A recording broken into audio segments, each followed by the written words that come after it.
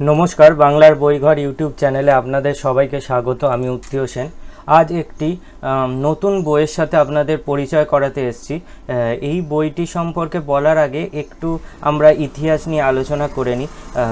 ভারতীয় ভারতীয় হিন্দু ধর্ম বা ভারতীয় যদি আপনারা শাস্ত্র চর্চা করেন বা ভারতীয় পুরাতন গ্রন্থাদির আপনারা চর্চা করেন, তাহলে দেখবেন যে ভারতের যে আমাদের হিন্দু ধর্ম আছে, তাতে আঠেরোটি পুরাণের উল্লেখ পাওয়া যায় এবং এছাড়াও আঠেরোটি উপপুরাণেরও উল্লেখ আছে। এছাড়াও হয়তো আরও পুরাণ আছে, কিন্তু সেইগুলো এখনও সংগ্রহীত হয়নি বা বৈজ্ঞানিকরা যারা চর্চা করেন এই বিষয় নিয়ে বা যারা আমাদের এই ধরনের বই আমাদের সাধারণ মানুষের সামনে নিয়ে এসে উপস্থিত করেন, তারা হয়তো এখনও চর্চা করছেন বা গবেষণা করছেন।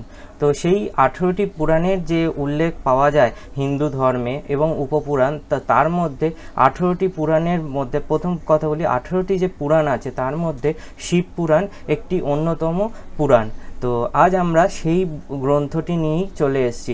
প্রথমেই বলি, এই ধরনের পুরাণ যে বইগুলি প্রকাশিত হয়েছে সেই বই যদি আপনারা সংগ্রহ করতে চান, প্রথমেই বলব গীতা প্রেসের বই সংগ্রহ করবেন। গীতা প্রেসের বই কিন্তু অথেন্টিক বই হয় এবং গীতা প্রেস হচ্ছে এই ধরনের বই বা স্পিরিচুয়াল বা আধ্যাত্মিক বই বইয়ের জন্যই পরিচিত এবং এনাদের, এদের প্রকাশিত বই বইয়ের লেখা, ভাষা এবং সব কিছু টোটাল কোয়ালিটি হচ্ছে এ ক্লাস তো সেইটা বলে নিলাম।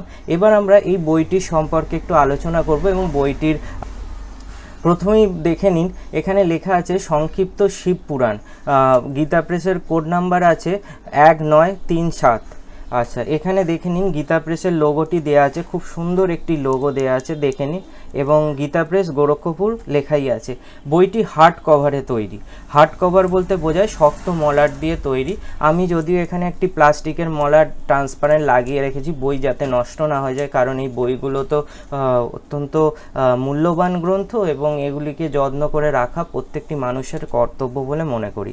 তো সেই জায়গা থেকে আমি একটু এটিকে বেশি সুরক্ষিত করে রেখেছি। এবার বইয়ের ভেতরে চলে যাই।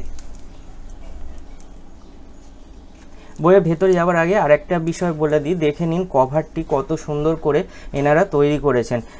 শিবের একটি ছবি দেওয়া আছে এবং ধ্যানমগ্ন অবস্থায় উনি রয়েছেন এবং সুন্দরভাবে ওনারা একটি বইকে উপস্থাপন করেন। যে দেখলেই আপনার সংগ্রহ করতে বা এই বইয়ের প্রতি আপনার একটা নিজের থেকেই ভক্তি এসে যাবে। যখনই আপনারা গীতা পেসের কোনো বই সংগ্রহ করবেন বা কিনবেন, যেই বইটি যখনই হাতে নেবেন, তখনই আপনার একটা অন্য রকমের ফিলিংস আসবে, এটি যখন আপনারা কিনবেন বুঝতে পারবেন। এবং এই আধ্যাত্মিক যে বইগুলি আছে বা স্পিরিচুয়াল বা পুরাণ, এই ধরনের যে বইগুলো আছে, সেগুলি গীতা পেসের বই বই অনবদ্য এবং অন্যতম বলা যেতে পারে।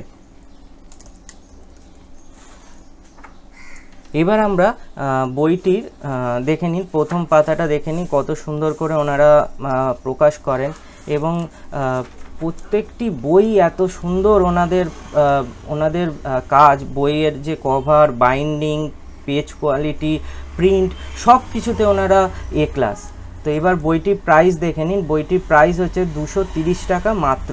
এত বড় একটি বই দুশো টাকায় ভাবা যায় না। তো এই হলো বইটি।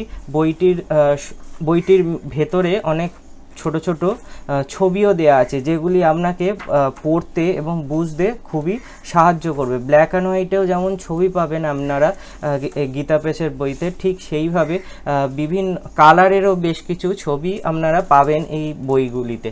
তো আমি দেখাচ্ছি পরপর। প্রথমেই দেখে নিন এখানে আপনাদের সূচিপত্রটা পেয়ে যাবেন আহ, শিব পুরাণের কী কী বিষয় আছে সেখানে লিখিত আছে। তো এইগুলো একটু আপনারা যখন বই সংগ্রহ করবেন, একটু ভালো করে দেখে নিয়ে কিনবেন।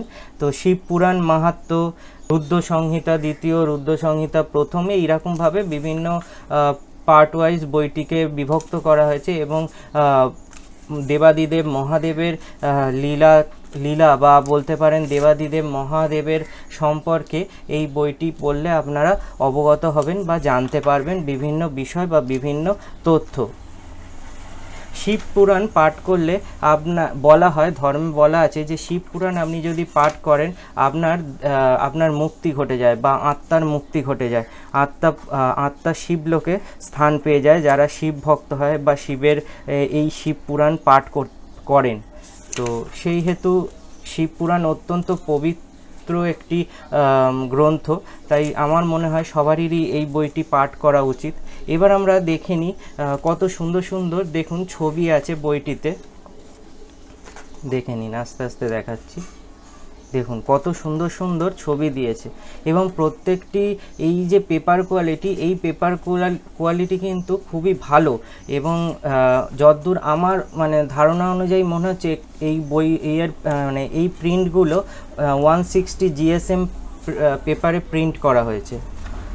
এছাড়াও বইতে যে লেখা আছে, হরপের সাইজ খুব সুন্দর, আপনাদের পড়তে কোনো অসুবিধা হবে না। এবং পর পর ঘটনার পর ঘটনা দেয়া আছে বইটিতে। এবার বইটির আমরা শেষ পার্টে চলে যাই। বইটি কত পাতার বই আমরা দেখে নিই। এই বইটি হচ্ছে পাঁচশো পঁচাশি পাতার বই। এরপরে আপনারা যেটা পাবেন, এরপরে আপনারা এখানে পেয়ে যাবেন গীতা প্রেসের দ্বারা প্রকাশিত আর কি কি বই আছে। এদের বিভিন্ন ভাষায় বই প্রকাশিত হয়ে থাকে তো সেই জন্য আপনারা অনেক রকমের বই আপনারা গীতা প্রেসে সংগ্রহ করতে পারেন, কিন্তু সবই বেশিরভাগ বই ওনাদের স্পিরিচুয়াল বই বা আধ্যাত্মিক বই ওনারা প্রকাশ করেন। তো আমরা শিবপুরাণ সম্পর্কে যেটুকুনি বইটি আচ্ছা দেখে নিন এখানে গীতা প্রেসের লোগোটি বড় আকারে দেওয়া আছে, কত সুন্দর। এবং বইটি বেশ মোটা আকারের এবং হার্ড কভারে তৈরি, খুবই ভালো একটি বই আপনারা সংগ্রহ করতে পারেন। এবং অবশেষে একটা কথা বলি, এই শিবপুরাণের বিভিন্ন অংশ নিয়েও আমরা পরবর্তীতে আলোচনা করব। বাংলার বই ঘরে অবশ্যই আলোচনা হবে। এই বইটি আপনাদের সাথে ভাগ মানে দেখাবার উদ্দেশ্যই এই ভিডিও করা এবং আমার ইচ্ছে ছিল এই বইটি আপনাদের সামনে তুলে ধরি। এত সুন্দর সুন্দর বই আপনাদের সাথে ভাগ করে নিতে এবং আপনাদের সাথে এই বইগুলোর পরিচয় করিয়ে দিতেও খুব ভালো লাগে। নিজেকে ধন্য মনে হয় যে এই ধরনের আমি একটি কাজ করতে পারছি বা ঈশ্বর আমাকে আশীর্বাদ করেছেন এই ধরনের কাজ করতে পারার জন্য। তো সেই জন্য আমি সবারই কাছে কৃতজ্ঞ। ভগবানের কাছে অশেষ প্রার্থনা করি যে এই ধরনের কাজ আমি যাতে ভবিষ্যতে আরও করতে পারি এবং আপনাদের ভালোবাসা অর্জন করতে পারি। সবাই ভালো থাকবেন এবং আপনাদের কি মতামত শিবপুরাণ সম্পর্কে বা যদি কারও থাকে শিবপুরাণ আপনাদের পড়ে কি উপলব্ধি হচ্ছে আমাকে লিখে পাঠাতে পারেন এবং একটু বেশি করে লিখবেন যাতে আমি এটি পরবর্তী কোনো ভিডিওতে আপনাদের এই লেখাগুলি পাঠ করে শোনাতে পারি। তো ততক্ষণের জন্য সবাই ভালো থাকবেন। আবার অন্য কোনো ভিডিওতে আপনাদের সাথে দেখা হয়ে যাবে। নমস্কার।